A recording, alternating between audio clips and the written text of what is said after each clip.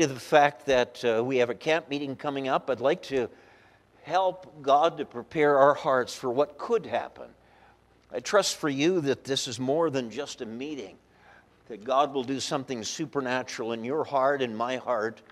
Say, preacher, what kind of things could God do?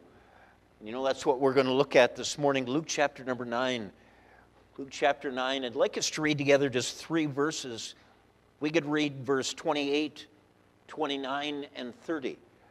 Again, if we could read together, reading out loud, Luke chapter 9, verse 28, 29, and 30. Let's begin there in verse 28. And it came to pass about an eight days after these sayings, he took Peter and John and James and went up into a mountain to pray. And as he prayed, the fashion of his countenance was altered, and his raiment was white and glistering. And behold, there talked with him two men, which are Moses and Elias. Let's pray. Father, we thank you for each one that's here. Lord, we trust that you will speak to our hearts. Help us to, as we are looking in a very familiar passage of the Bible, help us, Lord, to find something that would help us, especially as we are getting ready for this camp meeting Lord, direct our thoughts, our words, fill me with your spirit. I ask it in Jesus' name. Amen. You may be seated. You know, I think that uh, these three verses here in Luke 9 are familiar to many. It's, uh, we refer to it as the Mount of Transfiguration. You say, well, preacher, what's happening here? Our Lord has just been busy sending out his 12 apostles. In fact, you're there in Luke chapter 9. Look, if you would, in verse number 1. Luke chapter number 9 and verse number 1. The Bible says, And he called his 12 disciples together and gave them power and authority over all devils and to cure diseases. And he sent them to preach the kingdom of God. And so, in the beginning of Luke chapter 9, Jesus has gathered his 12, sent them out to preach two by two in the communities that they went to. And we know that shortly after that, they returned. Look there in Luke 9 and verse 10. And the apostles, when they were returned, told them all that they had done, and so they gave a report. We might call that a missionary furlough. But they gave a report to the Lord of all the things that had happened. And you know, as Jesus was taking a time for some rest and relaxation with those apostles, the Bible tells us that our Lord took three of those apostles up on top of a mountain. Again, look there in Luke chapter number 9, verse 28. And it came to pass about an eight days after these things, he took Peter and John and James and went up into a mountain to pray. So they'd just been away in ministry. They came back and gave report, and Jesus handpicked three of those 12 apostles Peter, James, and John. And he took them up onto a mountain. They had a little bit of a prayer meeting up there. And then look there in verse 29.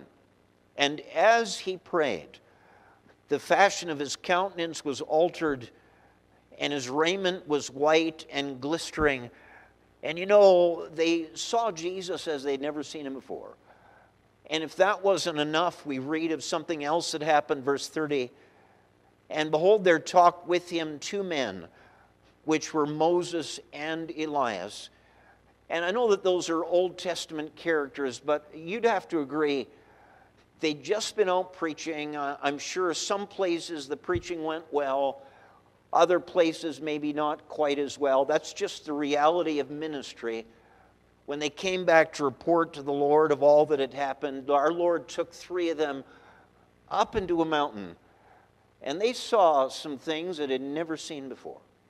And they heard of some things that they never heard before. And I think that God lifted those three men to, if we could say, to a, a spiritually higher ground. They didn't know what would happen. But I think that after it happened, they were never the same. You know, if you've been around church and Christianity for any period of time, we call that a mountaintop experience. And I'd like to preach this morning on the benefits of a mountaintop experience.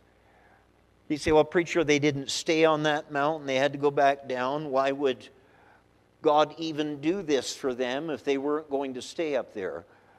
And the answer to that is the same reason God sometimes gives you and I mountaintop experiences. There are some things that happen in those unusual times that don't happen at other times. And I think it would be fair and, and good for each one of us to pray, Lord, it's just 10 days away, and, and, and we're making all the plans and all the preparations to be ready for this. But God, we're asking you to do something in our lives that we can't do. And even if you would pray, Lord, would you please give us a mountaintop experience? It's true in the history of this church that God has chosen to do that a number of times. You can't orchestrate it, you can't make it happen.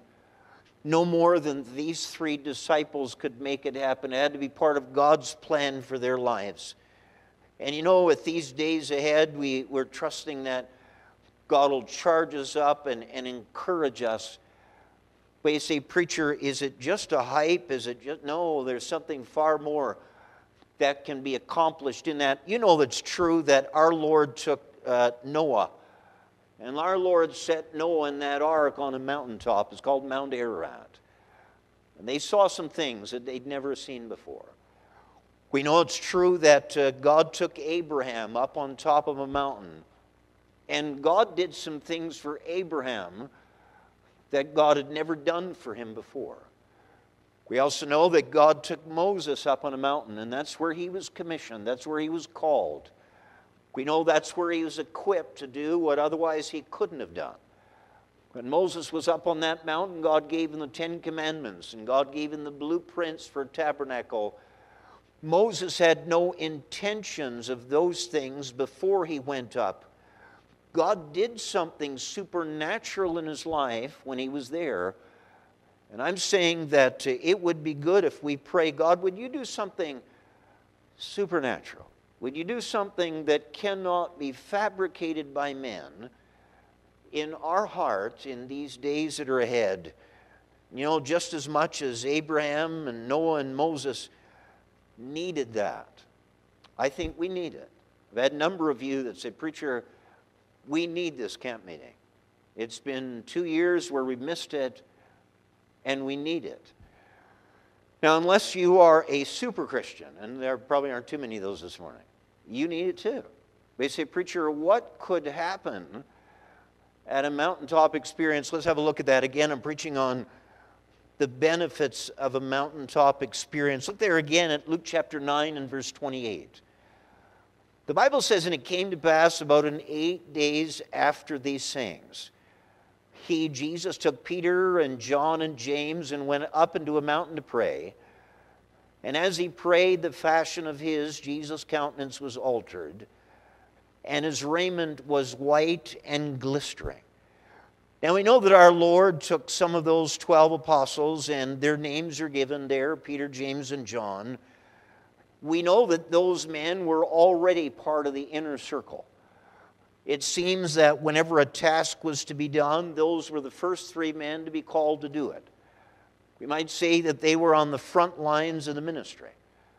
Maybe they were a little more committed than the other nine of those apostles. Do you know those three were always busy for the Lord? Those three were always committed for the Lord. Those three were always engaged in the service of the Lord. And you know one drawback of being always busy for the Lord? and always faithful and always serving is you can become always tired. Do you know you can get tired in the ministry? I'm not saying tired of the ministry. We don't want to get there. But you can get tired in the ministry. It can become mechanical. It can come to the place where, as a preacher, it's just an outline that's alliterated. It can come to the place where you're an usher that's just trying to get people seated quickly, and, and you lose fact that these are people that they've come and they need something. You can be teaching a Sunday school class, and all this is a story and, and, a, and a coloring craft, and let's quickly get. I'm saying that you can be in the ministry and tired in the ministry. Could I suggest to you that Peter, James, and John, though they very much were in the ministry, maybe things had become repetitious to them, We've all heard the statement familiarity breeds contempt. And sometimes the more that you're around people, that exciting edge of those people kind of wears down. And I'm saying the very first reason that our Lord took them up on that mountain is our Lord wanted them to see more in Him than just ministry. If you're taking notes this morning, the first benefit of a mountaintop experience is for inspiration, that we might see our Lord better. Maybe you sing songs for the Lord, but it's just another song. Maybe you preach messages for the Lord, but it's just another message. Maybe you uh, teach class, but it's just another class. Maybe you usher, but it's just ushering, and it's maybe you work in the kitchen or the nursery. And I'm saying sometimes we can lose sight of the very one that we're serving. And I say to you that the very first reason that our Lord took them up there was for inspiration. Now, you'd have to admit, they had seen the Lord. By this time in Luke 9, they had been with the Lord at least a year and a half. A year and a half of their ministry had already passed. And I'm sure that the excitement of the first day they met the Lord it wasn't the same. Yeah, that's the Lord. Sure, there's Jesus. Supposed to meet him at 6. Better be there in time. I'm saying it was just routine. And I, we won't have a show of hands. We wouldn't do that. But I wonder if your Christianity has become routine. Sunday, better go to church. Wednesdays, time for Bible study. Morning, better get my Bible reading done.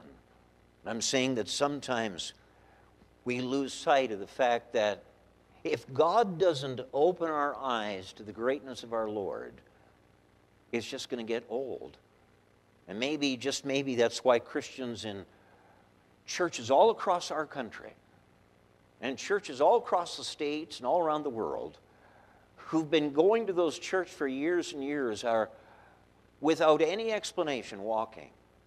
You say, Pastor, have they lost their salvation? No, it's not possible to do that but they've lost that sight of what the precious Lord Jesus Christ is all about.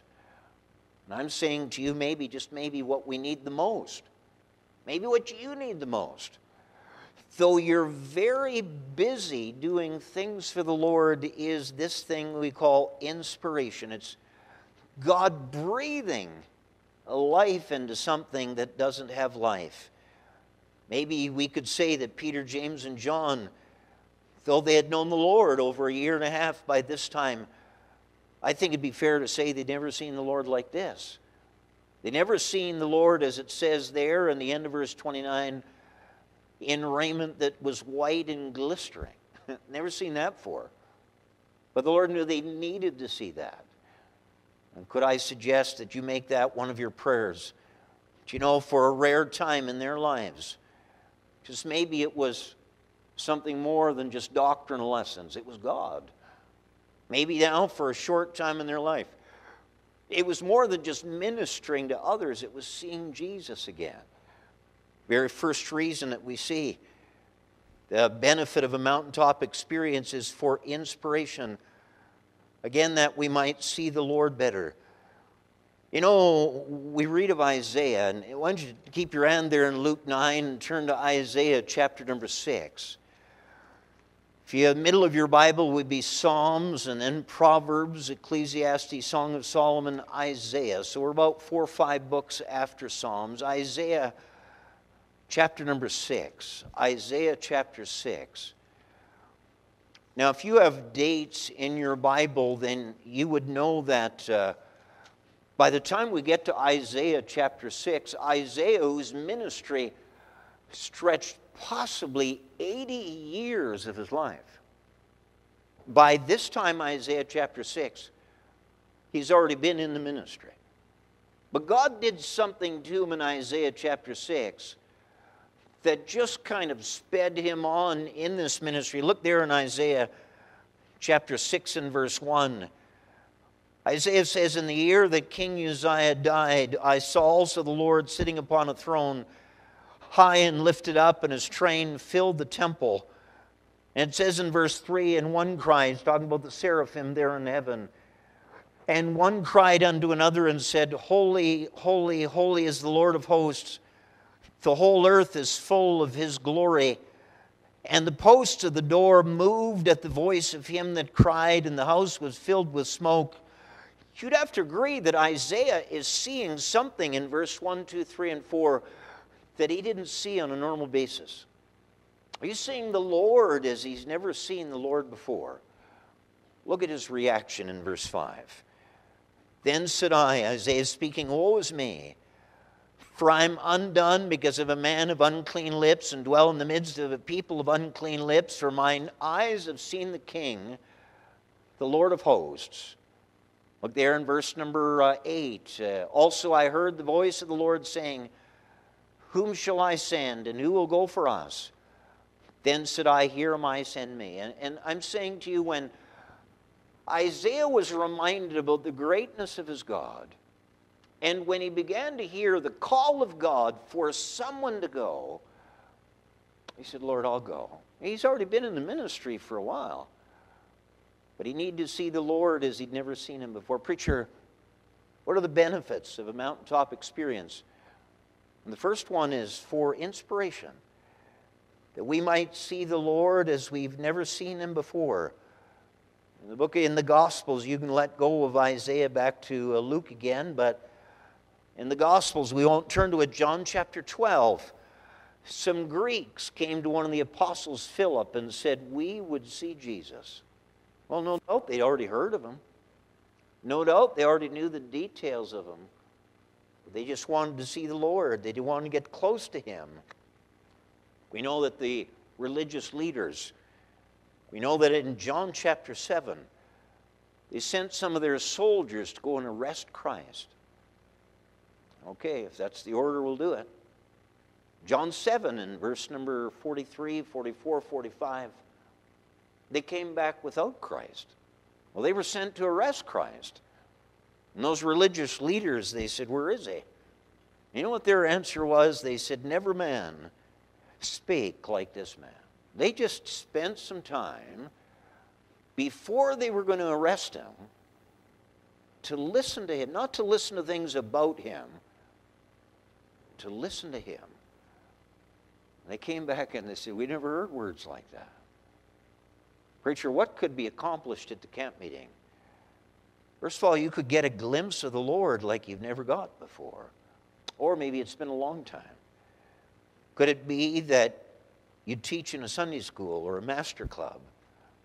How easy it is for anyone to be in a prolonged ministry the reality of the Lord that you're serving kind of wanes.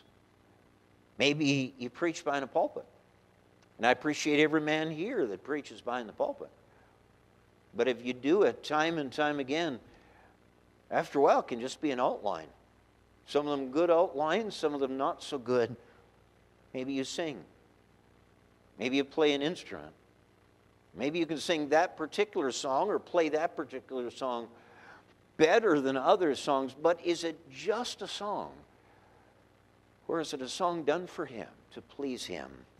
Maybe you work in the nursery, maybe you work in the kitchen, maybe you're an usher, maybe you help maintain this property, and is it, is it just a task? I say to you that Moses, when he went up on the mountain, his fellowship with God was so sweet. The Bible says when he came down, his face radiated it began to rub off on him. Preacher, that's what I need.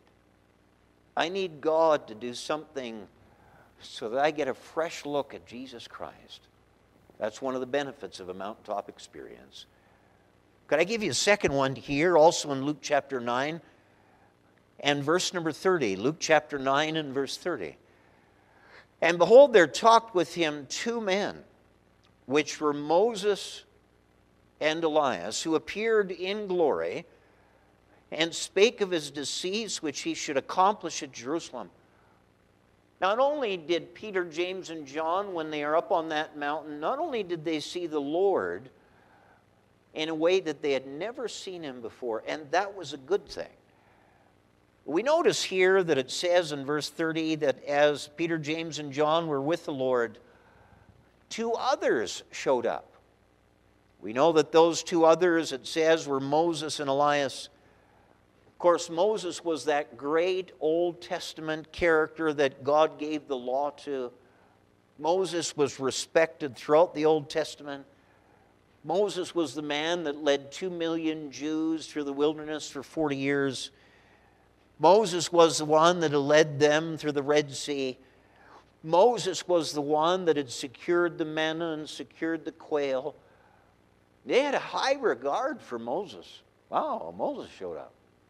Not only do we read in verse 30 that Moses showed up, but we also read that Elijah showed up, another Bible great.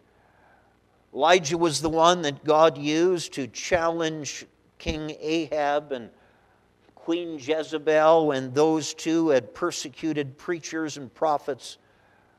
Elijah single handedly had stood up against those and you know, without a doubt, uh, Moses and Elijah had accomplished some great things for God without a question.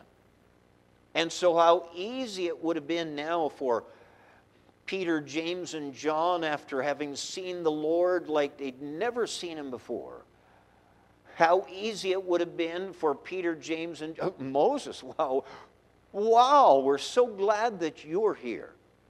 We've read all about Elijah. We are so glad to get to meet you. Why? We think much of the two of you. But look what those two had to say was far more important than talking about them. Verse 31 who appeared in glory and spake of his disease, which he should accomplish at Jerusalem. You know, as great as Moses was, he had his faults. You know, as great as Elijah was, he had his faults. And just maybe on this mountaintop experience, as Peter and James and John were maybe just making it too much of Moses and Elijah. Maybe. You ever thought about that? Isn't it true that sometimes we as Christians, we make a little too much of people, even good people, even faithful people? And we kind of elevate some people far higher than we should.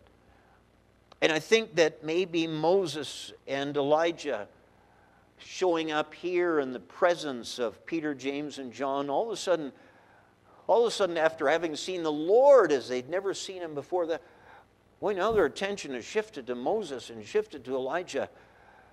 And Moses and Elijah, who could very easily have taken credit they said, No, no. And they said, We're here to talk about the Lord. Again, look at verse 31 who appeared in glory and spake of his disease. You know, those two men, whether they knew all that God had done with them, they said, Listen, the only one we need to talk about now is the Lord. Could I say to you, not only the benefit of a mountaintop experiences for inspiration, that we might see our Lord better I suggest that the second benefit of mountaintop experience is for realization. Realization, and that's that we might see others less. Sometimes we elevate people far higher than we should. Sometimes we make too much of people, much more than we should. You say, Preacher, why would you think that that's what was happening here? Well, look there in verse number 32. But Peter and they that were with them were heavy with sleep. And when they were awake, they saw his glory and the two men that stood with him. And it came to pass as they departed from him, Peter said unto Jesus, Master, it is good for us to be here, and let us make three tabernacles one for thee, and one for Moses, and one for Elias, not knowing what he said. Do you know, Peter thought that this is such a good place to be that why don't we just build three tabernacles? I know that some think that a tabernacle is just a tent. Well, there were six people on that mountain. Why would they just build three tents? Why not six tents? You know, I know that word tabernacle when it shows up the book of Esther. it's a booth, it's a tent. But that's not what Peter's doing here. Peter is elevating that tabernacle that he's suggesting maybe to worship. Pastor, why would you think that? Because no sooner had Peter made this suggestion of making three tabernacles one for Jesus, and one for Moses, and one for Elijah. Look at the Lord, look at God in heaven, verse 34. While he thus spake, there came a cloud and overshadowed them, and they feared as they entered into the cloud. And there came a voice out of the cloud saying, This is my beloved Son, hear him. Could I suggest to you that sometimes in our Christian life, yours and mine, not only sometimes we lose sight of the greatness of our Lord, and that can be fixed with a mountaintop experience, but there are also some times where we elevate people too high. You know, the best of men are men at best. And if you haven't had some man or some woman that you've had great confidence in somehow disappoint you, then you've not been around the block very long. You know, the best of preachers will disappoint you. The best of missionaries will disappoint you. The best of evangelists will disappoint you. The best of uh, Sunday school teachers and piano players and song leaders and deacons and workers in a church say, Pastor, I used to look up to that guy, and I'll tell you what, he greatly disappointed me. That's the reality of people's lives. And you know what? If you've had your focus on people, it's a matter of time till people will break your hearts. And here we see that Peter is kind of getting distracted from the Lord, that that was a good thing, that he saw the Lord as he'd never seen him before. But now he's beginning to focus on Moses and beginning to focus on Elijah. And I thank God for people that have been a great encouragement in my life just as much as you ought to be thankful for people that have been encouragement in your life. But people are just people. And the closest, the closer that you get to people, you'll begin to see things that you've never seen, and, and some negative things, and some disappointing things. And if your hope and your confidence and your trust is resting upon people, they will break your heart eventually. You know what happens with the mountaintop experience? First, not only do we get a sight of the Lord like maybe we haven't seen in a long time, and we need that. But secondly, we'll be reminded that we need to take our minds and our eyes off of people. If I've disappointed you, and that's very possible, you need a mountaintop experience to get me in the right perspective and get God in his right perspective. Because just as sure as I could have disappointed you, you could have disappointed somebody else. I'm saying to you that there are already two benefits of a mountaintop experience. First one is for inspiration, that we might see our Lord better. Second one is for realization, and that's that uh, we might see others less. You know, I'm glad that God uses people, but as I've said, the best of people are people at best. Let's never make the mistake of putting people on the same plane as the Lord Jesus Christ. Let's be careful whether in our minds or from our lips we praise on people that belongs to God. You know, I was actually sitting in a service one time where there was a guest preacher, wasn't here, but there was a guest preacher, and, and the pastor of the church was announcing this guest preacher, and he said this He said, This man is my hero, and I honestly don't think he ever sins. and you know what? We who had confidence in the guest preacher, as soon as he made that statement, it kind of it kind of put a wet blanket. Folks, all of us sin. All of us do. And if in your mind, uh, that particular somebody you have set him on a pedestal higher than God ever intended for him to be. The second benefit of a mountaintop experience is to fix that. It's to get your eyes to be taken off of people. That's why Isaiah, he said, Woe is me, for I am undone, because I'm a man of unclean lips. And you know, the evidence that you've been on this kind of a spiritual mountain is who you have your attention on after it's done. Is your attention on God, and you say, Well, it was just a great meeting. How would that be measured? How would a great meeting be measured? Listen, folks, I've been to I've been to some camp meetings before where all the all the excitement was orchestrated. I, I, I didn't go this one, but a preacher friend told me, he said he was down in a special meeting and he said there was two men in the back lobby and they had a wheelchair. No one's in the wheelchair, didn't need a wheelchair, those two men. And from the very front, a preacher gives a wink to these two men in the back. One of them jumps in a wheelchair and he, the other guy is pushing him around the auditorium with a flag just waving and say, Preacher, all that's orchestrated. We're not interested in doing anything like that. I said to visiting preachers that we've had, I said, you know, we're Canadian. And we don't hoopla and rah and rah and all the rest of that about every announcement that's given. You know, when we announce that the meal will start at 12:30, we don't have 10 people, hey man, glory to God. Now, if they do it on their own, that just means they're hungry. You understand? We're not orchestrating that kind of stuff. But I'm saying to you the second benefit of a camp meeting is being reminded that people are just people. They have their failures, they have their faults, they have their bad days, and a wise Christian never measures a Christian by their bad day. Peter had a bad day. Peter denied the Lord. But you can't measure Peter by his lowest day.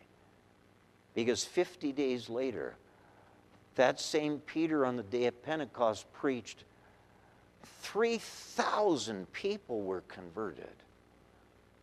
And you say, well, preacher, I'm, I'm just disappointed in him and her and him and preacher and you too. Well, maybe you've had these people too high in your estimation.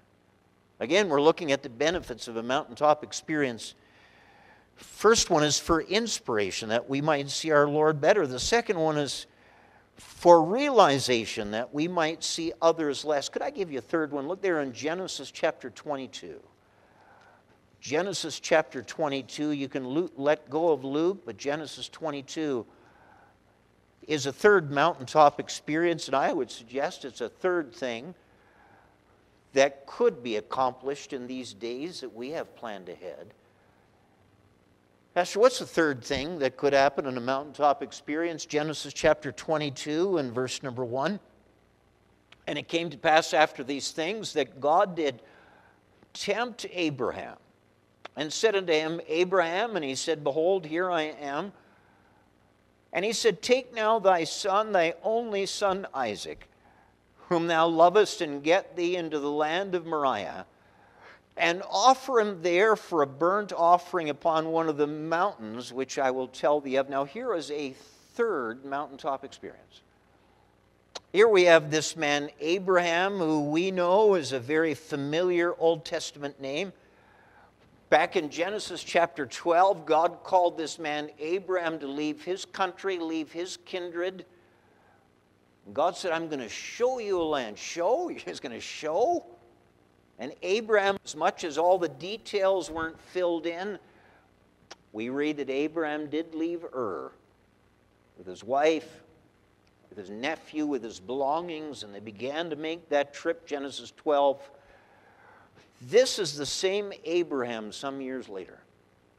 And I'm sure that Abraham, he's called a man of faith. God promised Abraham that he would be the father of a great nation. And Abram believed what God said in Genesis 15. God promised Abraham that his lineage would be as the sand of the seashore. God made some great promises to this Abraham, and Abram believed it. But you know, the one difficulty Abraham had? He and his wife Sarah had no children. She was barren at 86, and he was 99. And they had no children.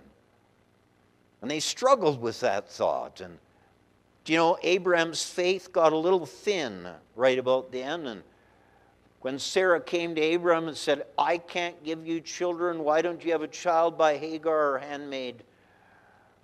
Oh, if just Abram was a man of faith at that point, but he fell to that trap and that trick. And we know because of all that that uh, Ishmael was born. But finally, when Abram was a 100, God blessed him with a son named Isaac. And how Abram loved that boy. I'm sure everywhere that Abram went, Isaac went. That boy, Isaac, was just his dream come true. And I think God looked down upon that. I think you ought to love your children. I think I ought to love my children. Say, preacher, they're not doing everything that makes me happy. Do you know God loves you when you don't do everything that makes God happy? And so Abram loved Isaac. And that was the reason for the third mountaintop experience. Look at Genesis 22. Again, at verse number one, and it came to pass after these things that God did tempt Abraham. I know that some have a difficult time with that word tempt. If you look over there in the book of James, it, it explains as a test. Keep reading Genesis 22 1.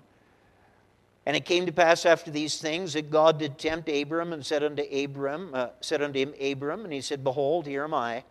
Sorry, here I am. And he said, Take now thy son, thy only son Isaac, whom thou lovest, and get into the land of Moriah. Stop right there for just a minute. God is speaking to Abraham. And God says, Abraham, and he says, Lord, here I am. He said, I want you to take a trip. And he said, I want you to take your son on this trip with you. At that moment, maybe Abraham got a little excited. Here he's getting to go to a, on another trip. I mean, since Genesis 12, he's not heard of trips. Now he's taking another trip. And he gets to take his son. Well, there's some tricky words found there in verse number 2. And he said, Take now thy son thine only son Isaac, whom thou lovest. Well, every parent should love their children. But there's something to be found here in verse 2 and get thee into the land of Moriah and offer him there for a burnt offering upon one of the mountains which I will tell thee of. Lord, am I hearing you right? You want me to take this son that's been such an answer to prayer? You want me to take this boy that I love so very much? You want me to kill him? God, you can't mean that. that I, I got to be hearing this thing wrong. Look there in verse number three. And Abram rose up early in the morning and saddled his ass and took two of his young men with them and Isaac his son. Do you know, as much as I don't think Abram understood what God was doing, Aren't you glad the very next verse says he did it anyway? He took that boy and took the servants and took these things. And he began to take this journey that God told him to take, middle of verse 3, and clave the wood for the burnt offering and rose up and went unto the place of which God had told him. Then on the third day, so this journey took three days. And I don't know, I'm pretty confident Abram didn't tell his wife Sarah what they were up to. Just going for a trip, honey. How long are you going to be? Well, we're at least going to be gone three days, probably a week, though. I don't think he told her what God had said. As they take this trip, I just think every night, as they stop around that campfire, I think as Isaac nods off to sleep, that boy, I think Abram looks at that son and knows what God has asked him to do. And he looks up to heaven and said, God, would you at least repeat so I don't, I don't have this thing no answer? God, you must have made a mistake. No answer. God, I got a couple of servants. How about I kill these servants instead of my son? No answer. And you know, Abram, as much as he didn't understand what God was doing, he still continued on this trip. It said there in Genesis 22, look there again in verse number 4, then on the third day, Abram lifted up his eyes and saw the place afar off. And Abram said unto his young men, Abide ye here with the ass, and I and the lad will go yonder and worship and come again to you. And you know, he doesn't understand what God is doing, but he's fully prepared to do that. I wonder, is that you? You see, preacher, I do not understand what God's doing in my life. I don't understand what God's doing in my home. I don't understand what God's doing in my family. That's why the Bible says, Trust in the Lord with all thine heart, and lean not unto thine own understanding, in all thy ways acknowledge him, and he shall direct thy path. Mo, or Abraham, rather, he could have said, Lord, until you give me the end picture, I am not going to head out to those mountains. But he didn't. If you're a Christian this morning and, and, and you're in the midst of a, a life and you do not understand what God's doing, you can't afford to stand still. You have to continue to do everything else that God has asked you to do trusting that God will work those deeds. Say, preacher, why did God even have Abram take his son up there on the mountain? I think the secret is right there in the middle of verse 2. And he said, Take now thy son, thy only son Isaac, whom thou lovest. I, I think it was a test to see if Abraham loved God more than he loved that boy if you're honest, isn't it true that there are sometimes things that we love more than we love God? And there's some things that are more important to us than God's smile in our life. And so it was a test. You know, God watched as Abram took that three day journey. God watched as Abram and his son Isaac went up on that mountain. God watched as Abram built that altar. God watched as Abram put his son upon that altar. God watched as Abram took that knife and leaned back and was ready to plunge it in his own son, not knowing what God was doing that whole time. You don't know what God's doing, trust Him. Still keep doing the right thing. But look there as we continue reading this. Genesis chapter number 12 and verse number 9. I'm sorry, Genesis 22, verse 9. And they came to the place which God had told him of, and Abram built an altar there and laid the wood in order and bound Isaac his son and laid him on the altar upon the wood. And Abram stretched forth his hand and took the knife to slay his son. And the angel of the Lord called unto him out of heaven and said, Abram, Abram, and he said, Here am I. And he said, Lay not thine hand upon the lad, neither do thou anything for him. For now I know that thou fearest God, seeing thou hast not withheld thy son, thy only son, from me. It was a test to see if Abraham loved God more than anything else in his life. And I wonder, do you love God more than anything else in your life? say, Preacher, my future is so important to me. Would you lay your future down for the pleasure of God?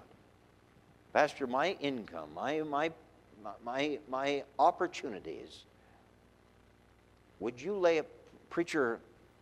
I am respected in society. Pastor, I'm, I'm admired by my friends. Would you lay all that down for the pleasure of the Lord Jesus Christ? It was a test. And he passed the test. You're taking notes, the third thing. Third benefit of a mountaintop experience is for organization for organization that we might better arrange our loves below.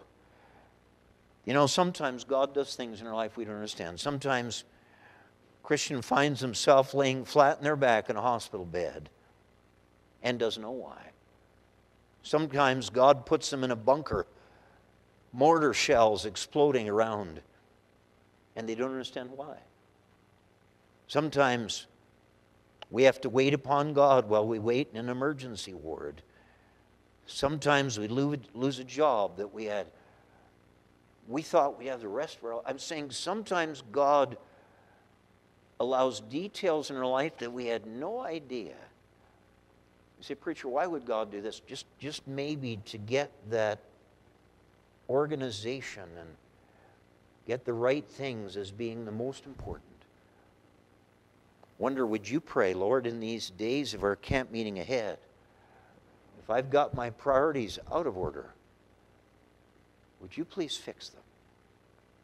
Would you please show me them? It wasn't till Abraham went up on this mountain that God fixed that priority. I give you the last thing, I'm done with this.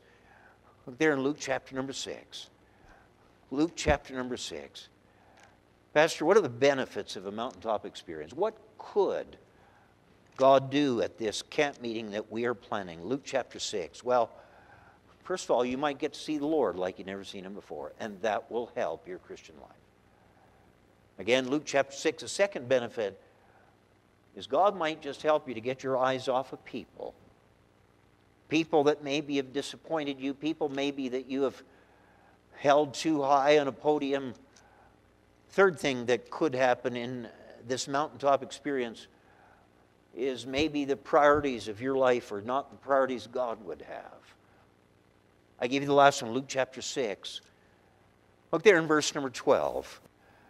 Luke chapter 6 and verse 12, and it came to pass in those days that he, that's Jesus, went out into a mountain to pray and continued all night in prayer to God. Verse 13, and when it was day, he called unto him his disciples, and of them he chose twelve, whom he named apostles. Our Lord, by this time, had been busy in the ministry. He had already been doing miracles. He had a he had a group of disciples, now not apostles, disciples. He had many disciples. And those disciples had followed our Lord wherever he went. The Bible says in verse 13 that on a particular day, he called unto him all of his disciples 50, 80, 100, 120. 120. We're not told how many. But it says in the last part of verse 13, and of them, he chose 12. And so, our Lord, this was a milestone in his public ministry. Up to this point, he had done all the ministry.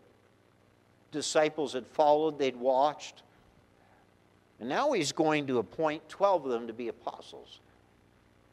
We're familiar with the list. Look at verse number 14. Simon, whom we also named Peter. Simon Peter, we know him. Andrew, his brother, James and John, Philip and Bartholomew, Matthew and Thomas, James, the son of Alphaeus. We know those names.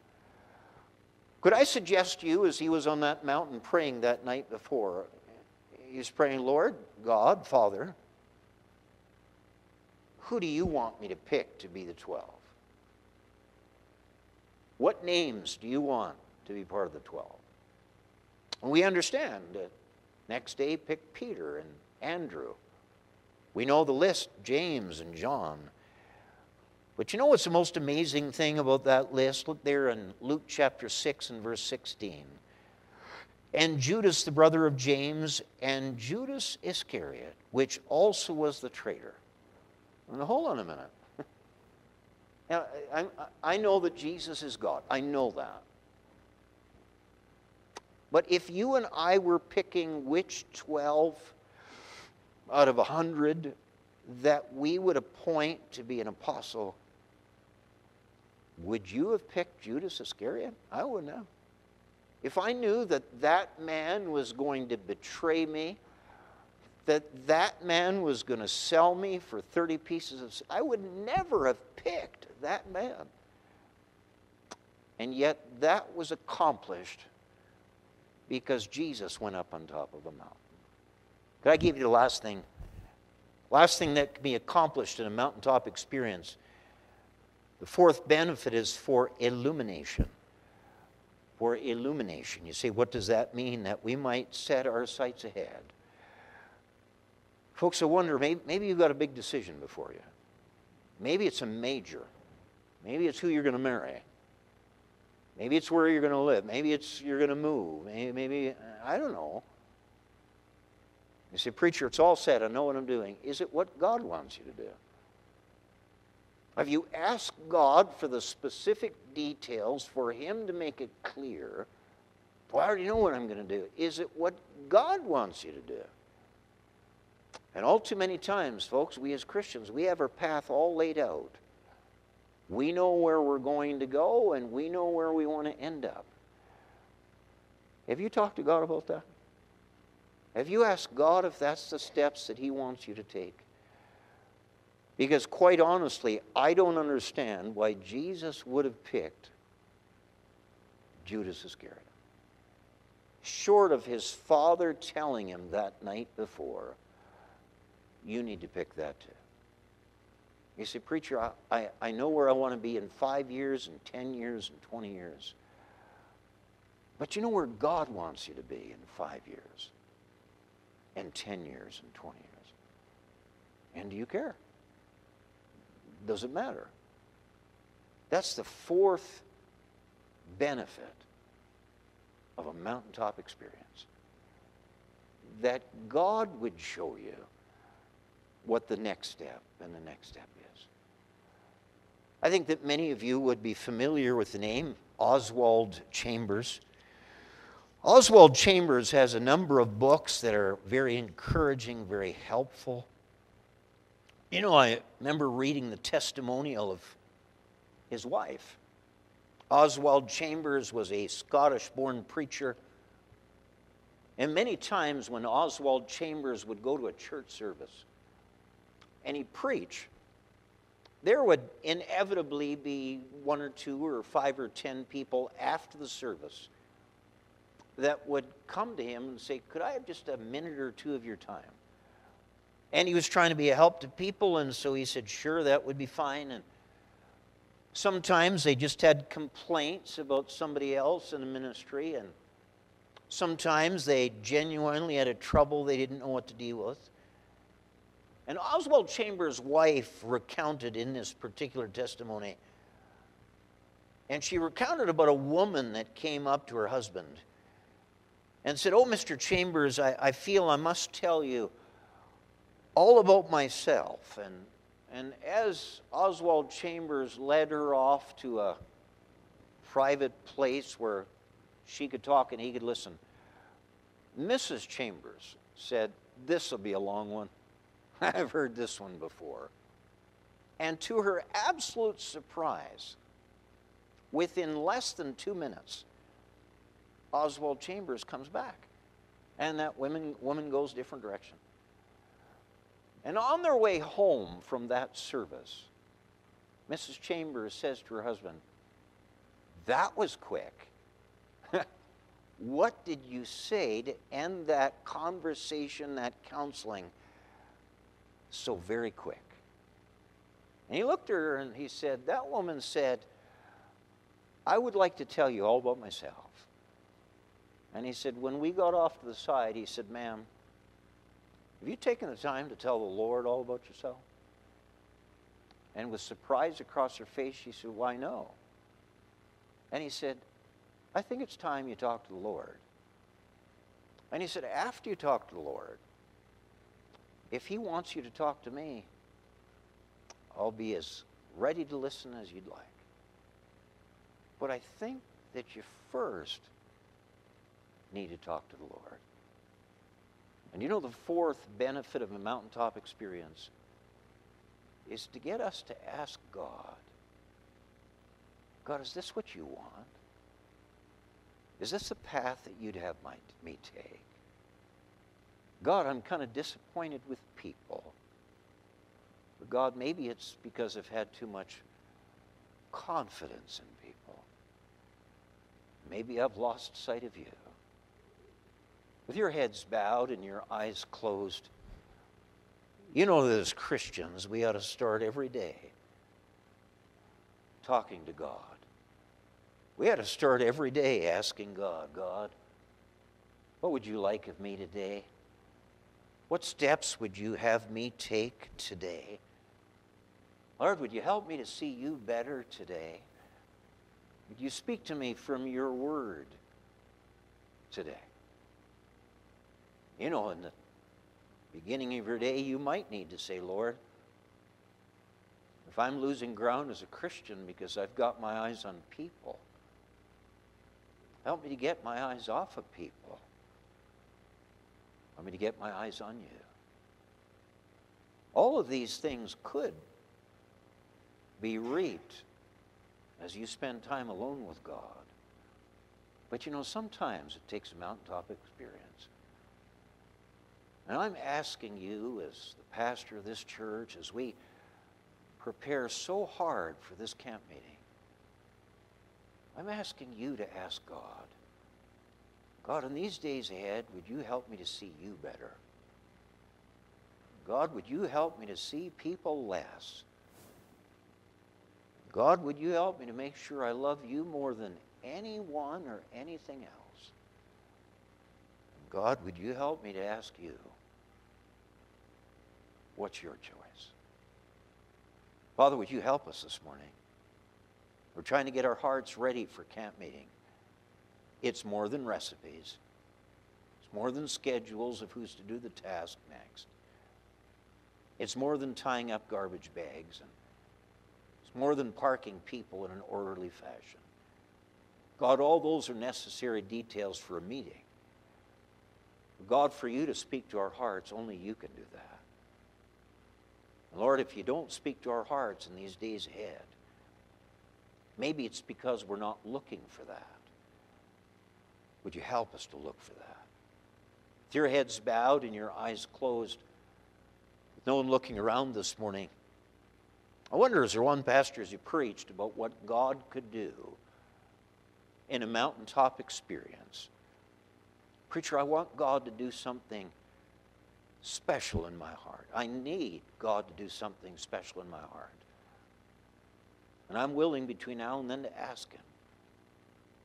Preacher, know you care. Would you pray for me? Would you pray for all of us that God would do some, something special in these days ahead? Preacher, here's my uplifted hand. God bless you. God bless you. A number of hands.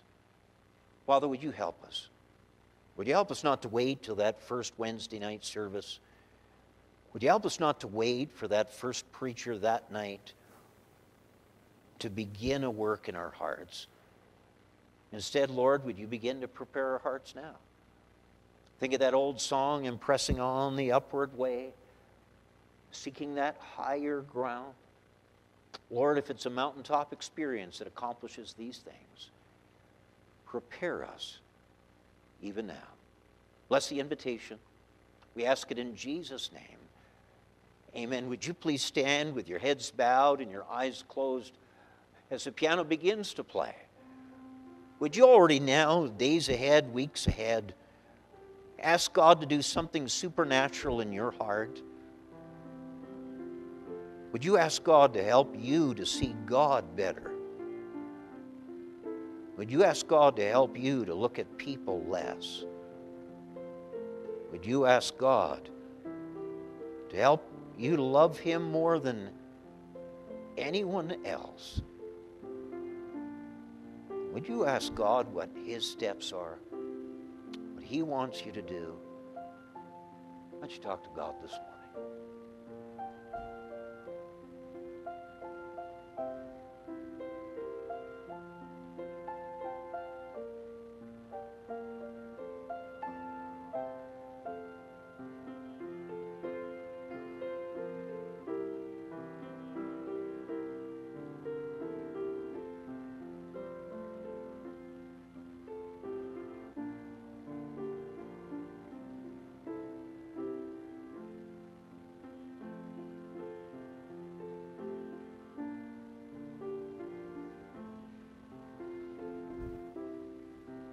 As the piano continues to play.